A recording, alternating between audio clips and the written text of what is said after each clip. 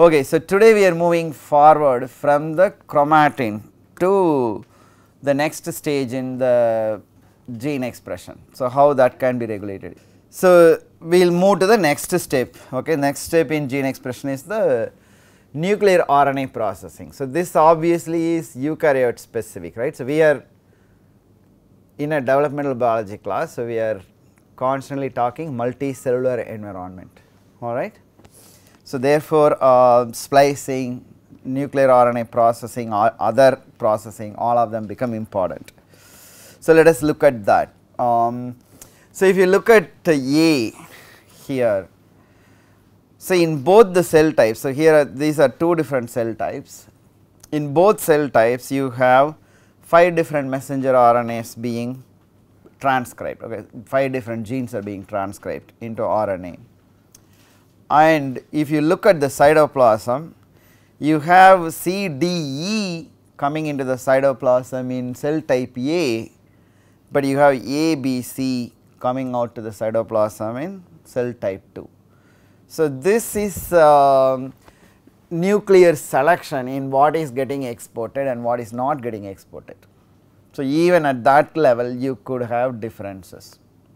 So, there are certain developmental contexts where regulations at these steps become important okay, in the overall context of the embryonic development. So, you can't always do it at the level of methylating histone or uh, DNA and controlling transcription at that level. So, there may not be enough time for it. And second uh, these transcripts may be used later in some other stage.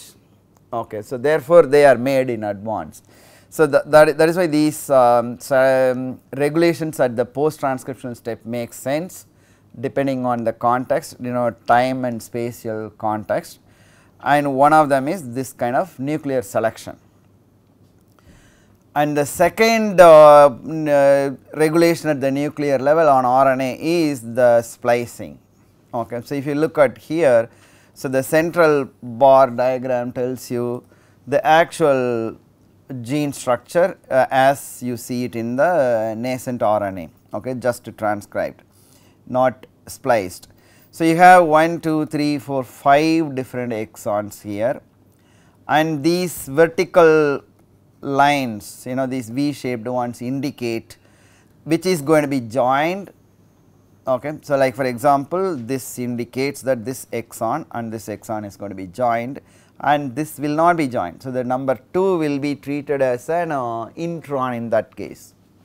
So, this splice donor where I am pointing is connected to this splice acceptor here. Okay. So, skipping two other potential ones in the middle. So, that is one way of splicing. So, you, you are bringing together exons 1, 3, 5 and in another one you find 1, 2, 4, 5. So, this is alternative splicing. Okay. So, alternative splicing is not a minor component in gene expression regulation. So, as you will see in subsequent slides now. So, that is where we are going to spend bulk of uh, today's time. So, this is um, you know an, a, as a real example for the first thing that is nuclear selection. Okay. So, this is sea urchin embryo at, at an early stage you are looking at this is a phase contrast showing all the cells here. So, here this is an in situ hybridization uh, revealing the localization of a certain uh, messenger RNA which is here this CY3 uh.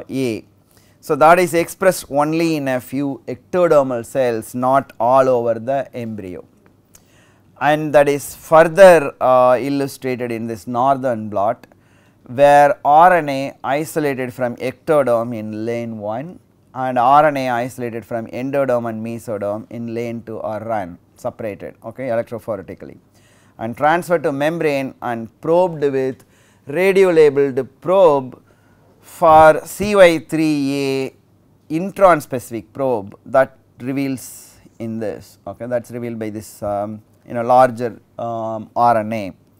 And if you look at it the difference is not much they are more or less similar level of um, level of presence indicating that in both the germ layer uh, or all the three layers it is being transcribed. It is definitely there in ectoderm and as well as in endoderm and mesoderm. But if you look at uh, the same transcript using an exon specific probe which is going to hybridize to the in a large uh, fraction of the RNA there will be mature mRNA present in the cytoplasm okay because the processing happens quickly and they come to the cytoplasm. So therefore it is largely hybridizing to the cytoplasmic mature RNA and there what you are finding is its level is very high in ectoderm compared to the other two indicating that there has been a selection in terms of the um, RNA in the cytoplasm okay what is getting exported. So, in ectoderm it gets preferentially exported, but not so in the other two germ layers. So, now we will continue with this splicing. So, splicing you can have any one of four different ways of alternate splicing. So, one is in uh, example A type 2 pro, pro collagen where you are seeing cassette exon, exon. So, you have 1 2 3 as a cassette and then 1 2 as another one in two different types of cells. Here you have precursor chondrocytes and here you have the mature chondrocytes. Okay. And another type would be mutually exclusive. Uh, in one tissue type you have one exon but not the other and in the other tissue type you have the other exon and the other one is not present. So, here if red is present purple is excluded and if purple is present red is exclusive. They both are mutually exclusive. Okay. So, that is one variety. And the third is alternative splicing by splice site variation. Okay 5 prime splice site here the donor site. If you look at um, this um, you know exon 2 you will see that these lines um, particularly you look at the line between exon 2 and 3. In one you have um, you know the full exon 2 is included because the splice donor starts after that. In the other one somewhere at the beginning of this exon itself you have a splice donor and as a result bulk of exon 2 is excluded when that splice site is used. Okay, so you, you pay attention to these two V shaped uh, lines that tells you the beginning of a intron. So, here it begins here as a result exon is small. So, here it begins at the end of it and therefore, here the exon is full. So, in this case this has serious consequences this BCL-XL is actually uh, inhibitory to programmed cell death. Okay it inhibits cell death. And this small one actually induces cell death. Okay it is totally opposite con consequences. And in most cancer cell lines this XL version is common. So, as a result apoptosis is inhibited so cell goes uh, you know it continues to proliferate. Okay. So, therefore, these have serious con functional consequences. So, that is what I want to point out here. And the other one same thing, but with the 3 prime splicing. Okay. So, if you pay attention to this first V the top and bottom you will realize you know they end at different places. So, these are the 4 mechanisms by which alternative splicing can happen does this happen to only a small number of genes or large number of genes? It actually happens to almost all genes more than 90 percent of the human genome genes protein coding genes are subject to alternative splicing. To give you an idea the number of genes in C elegans and human are not very different okay. Um, but if you look at the organism's complexity either anatomical or functional you know a homo sapien can learn all of this and come and teach a class, but C elegans can't do that okay. Uh, it is a very simple anatomy having only couple of tubes, but then having all the basic biological process. It has a nervous system, it can sense pain and so on. So, the bulk of the complexity between C. elegans and Homo sapiens come from alternative splicing. Okay. So, therefore, this is a major thing. So, do not uh, take it as an aberration in the gene expression. You will see some examples you know uh, really um, you know amazing examples. This is one of them, but this is nothing compared to what you are going to see the next one. So, this is tropomyosin alpha tropomyosin in rat. So, in different muscle cells um, here up to this these are muscles you see different um, you know exons included. So, here these colored ones these green ones are exons present in all the different variants. Okay. And another important thing is sometimes alternative splicing can affect the 3 prime UTR sequence you know these have this 3 prime UTR sequence while these have this and this one has little bit of this and then this. So, the importance of 3 prime UTR will become clearer when we go to translation regulation okay maybe 3 4 slides from now. And here you have some smooth muscle specific uh, exon included in this and you have striated muscle specific exons the uh, yellow color ones included only in them. So, by these various permutation combinations of excluding and including exons you can generate variety of proteins. So, therefore, the definition of one gene one enzyme that became one gene one polypeptide now actually becomes one gene and one family of proteins. So, we are saying family because they do have some similarity right some exon sequence is there in all of them.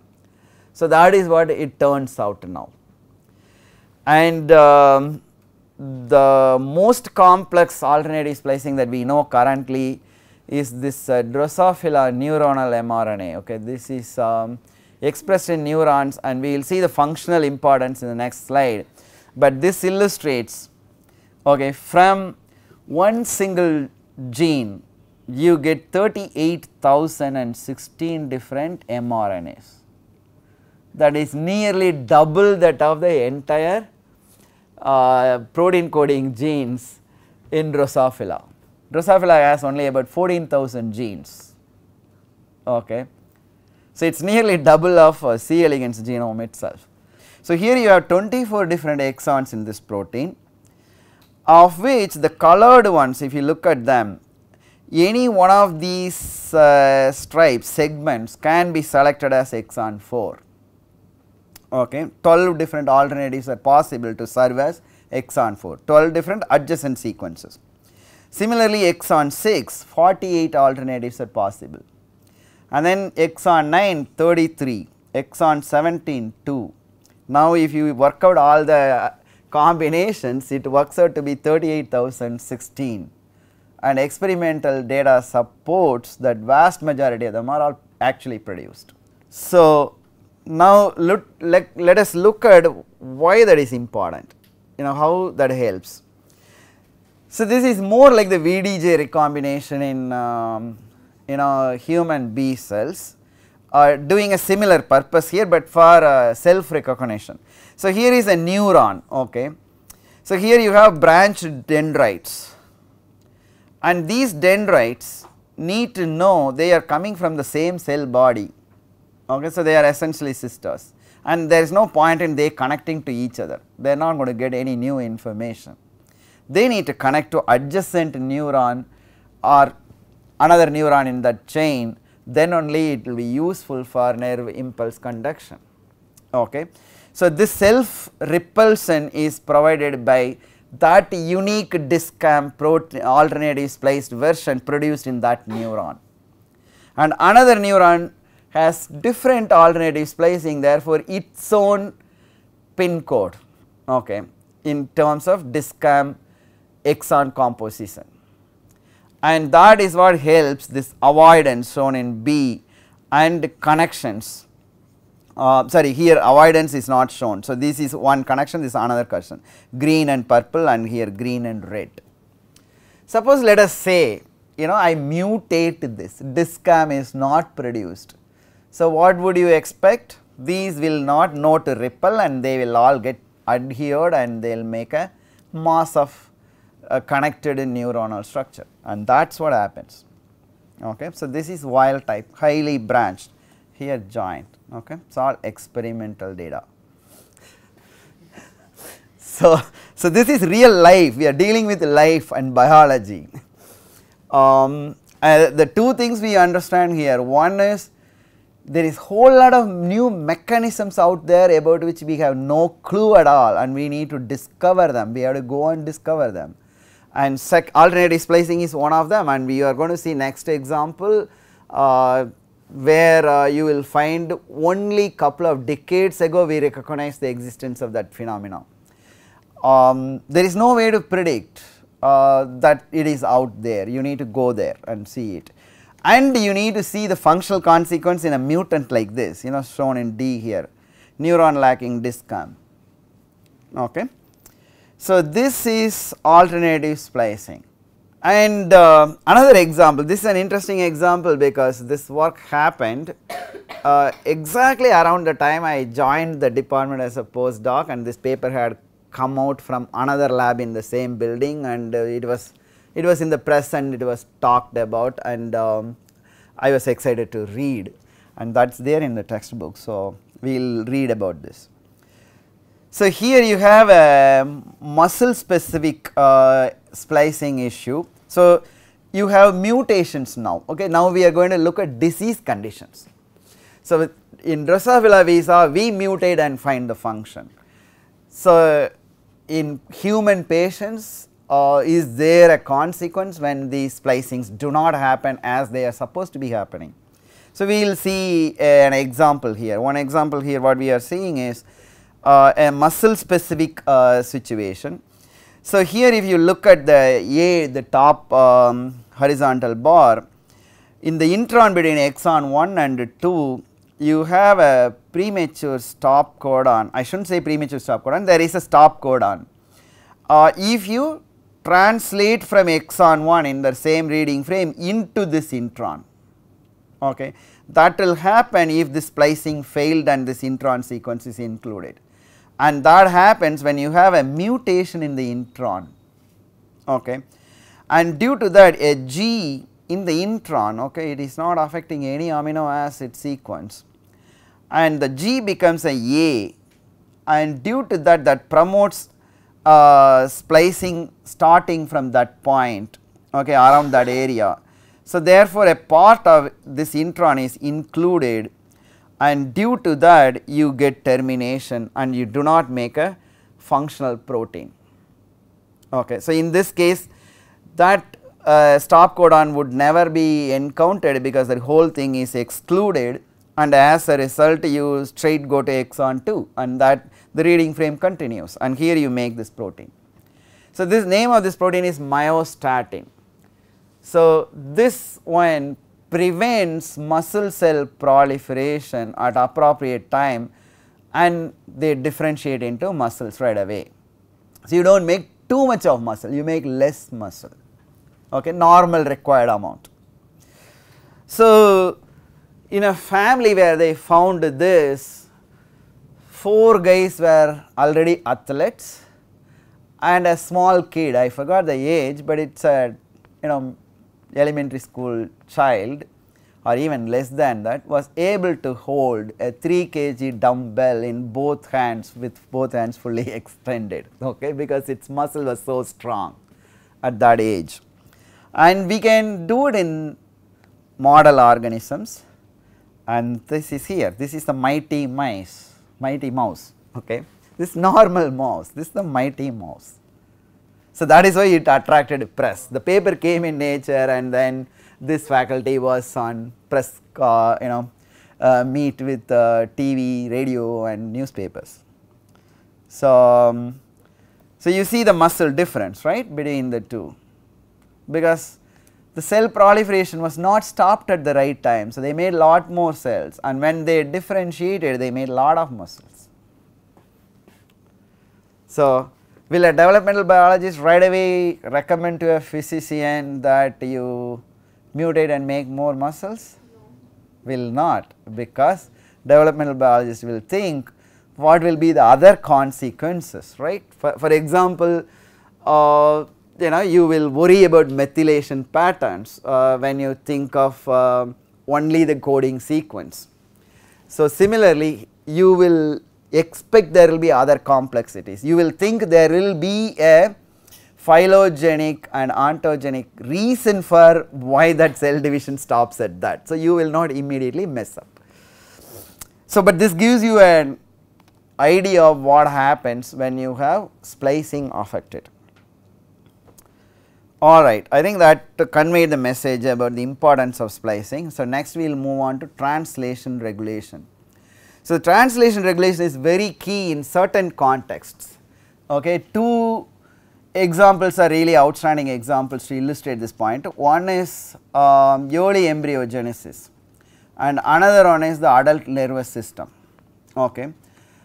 Um, you take a neuron for example, it has a cell body and has a long axon and at the end of the axon you have synapses and you have to at the synapses uh, at the synapse what do you have? You have to produce neurotransmitters and secrete and then the postsynaptic neuron must have the receptor to accept it and if these things have to be produced and degraded very quickly and very rapidly to sync with the nerve impulse conduction you can't go ahead and uh, unwind the DNA by modifying you know the chromatin and then transcribe and then get permission from the nucleus to come out you know and before that uh, splicing all that. You will not have time for it. And after that the protein has to be transported to the end of the in, uh, axon to get to the site of synapses. So, that problem is usually solved by making the RNA and keeping it stored where you want. And when the correct signal comes you translate okay that is one context.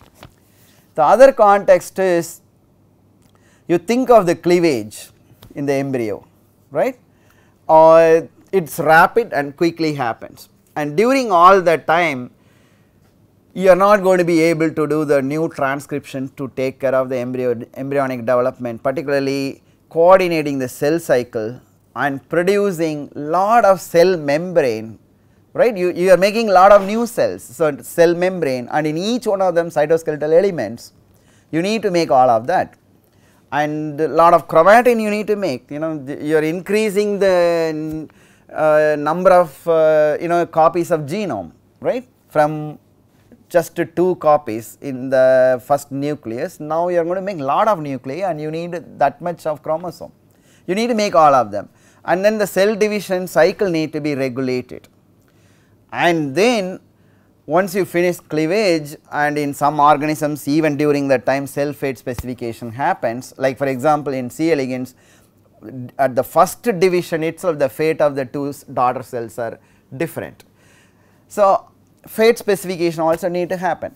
So, all of that you can't do by controlling trans transcription. So, there again translation regulation of mRNA produced by the mother and deposited in the oocyte plays a critical role. So much so that in some organisms you can get rid of the um, nuclear components, but still the cell cycle can actually happen without the uh, you know the nuclear material because cytoplasm has the required things to simulate that. And these are contexts where translation becomes important. So, now let us see how the translation regulation happens. Okay. Um, so, one uh, mechanism by which translation regulation can happen is increasing or decreasing the stability of the messenger RNA meaning once transcribed how long will that messenger RNA survive eh, before getting degraded. Okay, so, you can have a half life for that the duration taken for the messenger half of the messenger RNA to be degraded. Okay. So, if you take uh, in a lactating mother the prolactin mRNA normally produced in the mammary gland gets quickly degraded okay percentage of in so this experiment I should explain the method first. So this is mammary gland cells um, I guess mouse mammary gland cells cultured and uh, you incubate the cells with radioactive um, you know nucleotide like in this case uh, probably UTP. So, the all the RNA synthesized gets uh, radioactively labeled. Then wash the cells of that medium containing uh, radioactive nucleotide and put in fresh medium without radioactive nucleotide, but you have unlabeled one. So, that is called the chase period. Now, you watch the labeled RNA how long it stays. Okay. So, without this hormone you know the lactation stimulating hormone prolactin it gets rapidly degraded half life is you know uh, probably about 2 hours or one and a half hours. But with the hormone it stays you know for more than 2 days.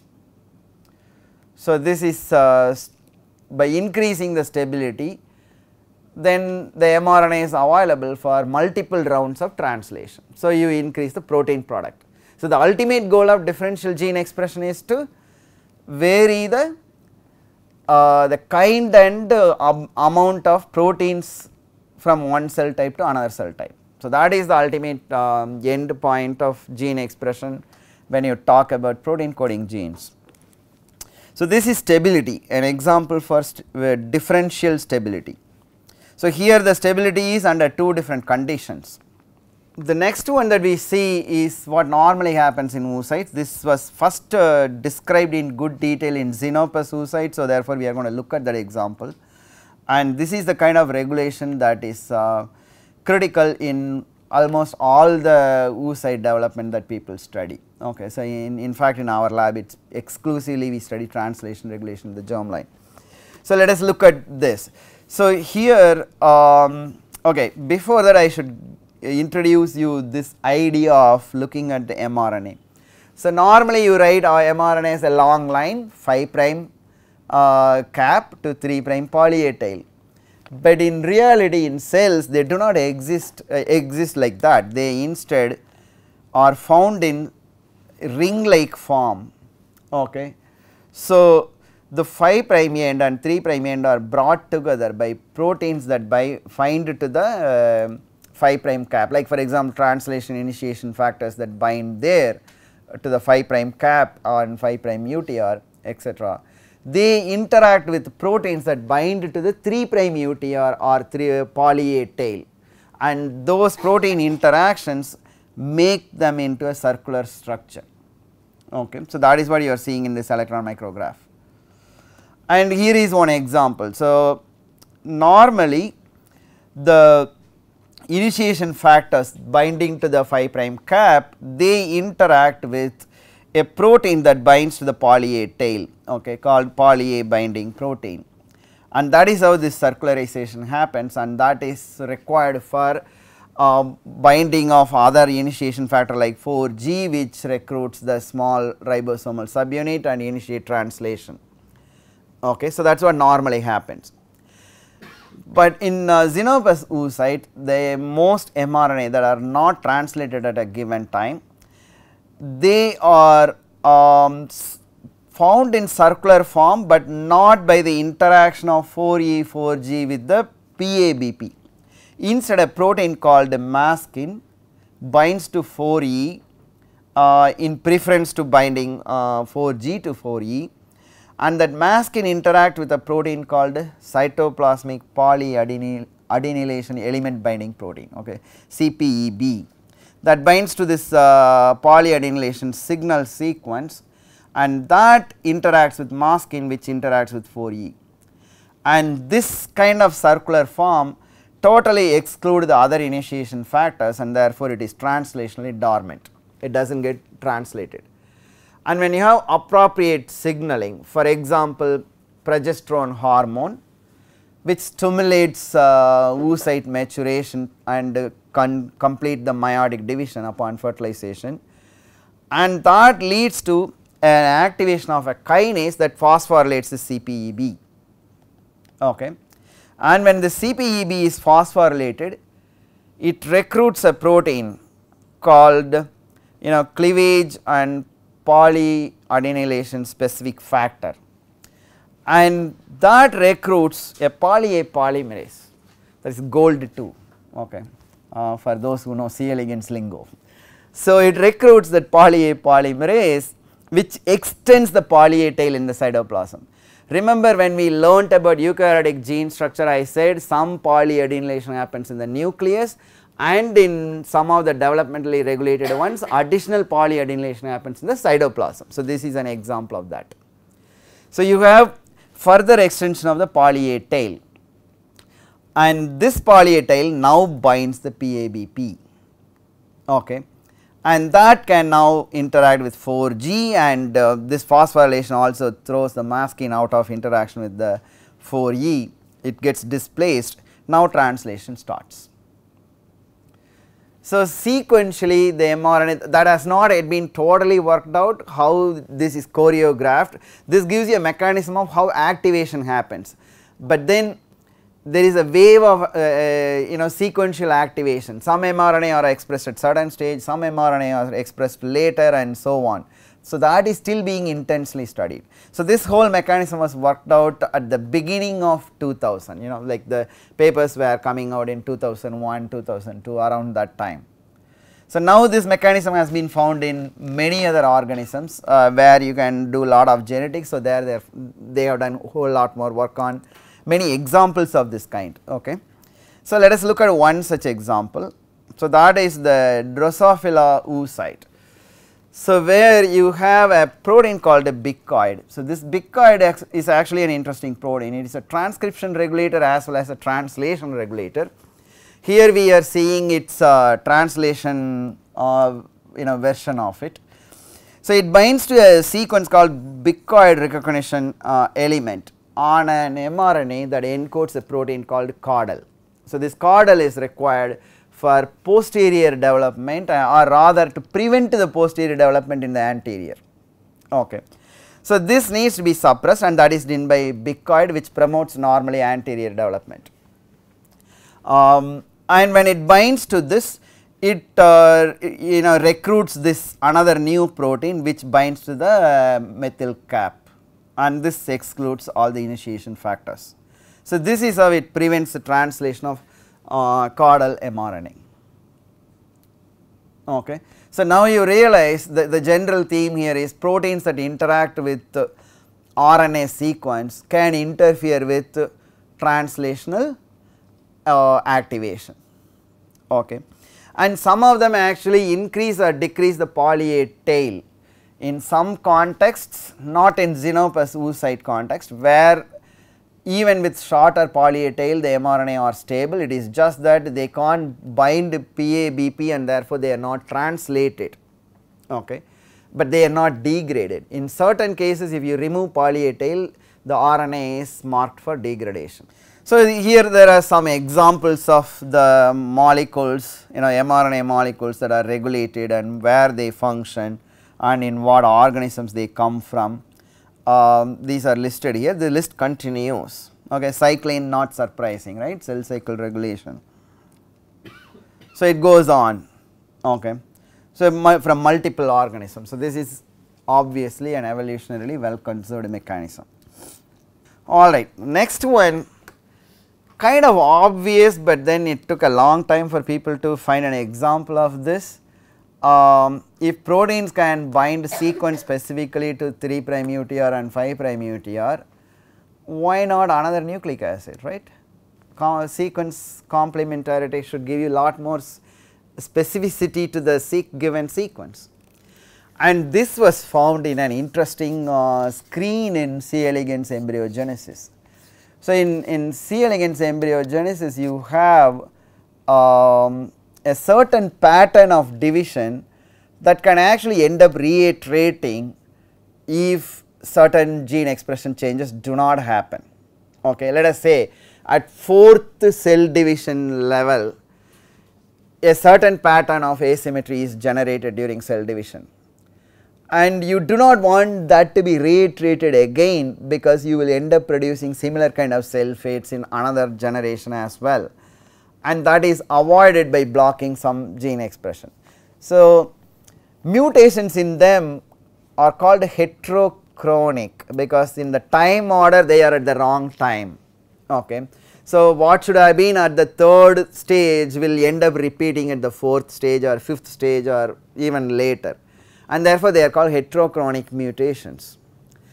and one lab uh, that identified a mutation that had a heterochronic phenotype when they finally mapped they did not find any proper protein coding sequence there.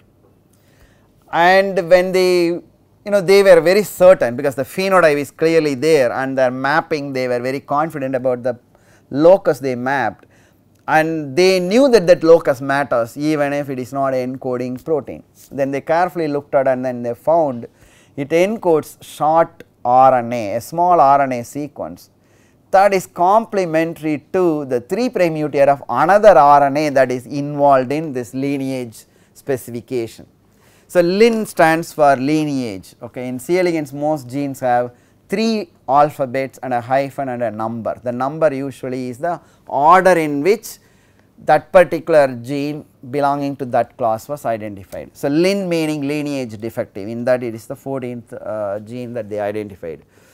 So, if you look at lin 14 mRNA sequence in the 3 prime UTR there are you know the colored sections okay 1 to 7 and those are the sequences to which this lin uh, 4 okay that is one of the heterochronic mutant mutation which was not encoding a protein and they found it is a small RNA and that is complementary in this fashion. The loops indicate where there is no complementary okay where you see linear thing there there is base matching okay. So this uh, was the first discovery and is this something nematode specific and you are not going to see that is not true now uh, in the last 20 years people have discovered these small RNA are naturally encoded in the genome just like the C. elegans genome and they regulate the translation of vast majority of mRNAs. The current estimate is about 30 to 40 percent of all human mRNA are subject to regulation by these small mRNAs called miRNAs okay, um, micro uh, interfering RNA molecules or micro RNAs shortly and this is how they are made. They usually exist in multiple tandem repeat copies. And they are transcribed. And once transcribed you have a nuclease a drosha that cleaves. So, these the information in this cartoon comes from studies in multiple organisms okay? The the first example is from c. elegans. That's where it was first discovered. But then people worked out the mechanism by studying multiple organisms um, for example, Drosha was discovered in, um, in Drosophila where they made extract cell extracts and did these reactions in vitro. So, these multiple repeats are digested into individual units in the nucleus by Drosha. And that is transported into cytoplasm. And see these come as hairpin repeats okay? And that hairpin is removed by a cytoplasmic nuclease called dicer and now you get the two strands and they are unwound and loaded on a complex called RISC. Okay, this co RISC complex is the one that takes the one of the two strands of the miRNA duplex and uses that to identify the target sequence and goes there and binds to that.